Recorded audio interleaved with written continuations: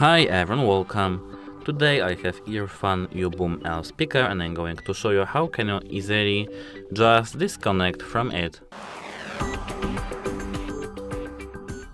At first we have to scroll down to control panel, then hold our finger on Bluetooth.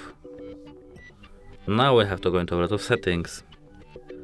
Now we have to click on this info button over here.